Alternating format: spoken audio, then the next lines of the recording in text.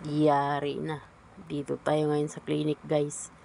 Tutusukin ang bunganga natin ito. Hindi natin kasi ingatan. Hindi natin kaya kayo ingatan yung ngipin nyo.